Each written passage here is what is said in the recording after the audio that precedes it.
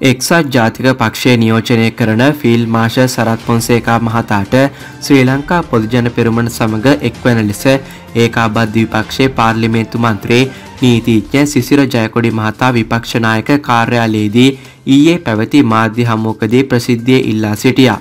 ෆොන්සේකා මහතාට තවදුරටත් පරාජය සමග ඉන්න බෑ. ඔහු දේශප්‍රේමීන් නියෝජනය කරන දේශපාලන පක්ෂයකට එකතු වෙන්න.